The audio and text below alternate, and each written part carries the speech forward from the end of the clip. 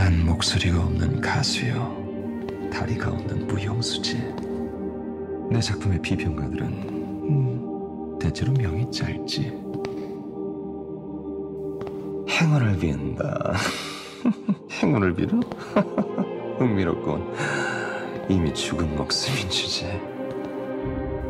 학살의 현장에서 난 피어오른다. 붉은 여명이 피어나는 꽃처럼. 널 한 편의 시로 써주지.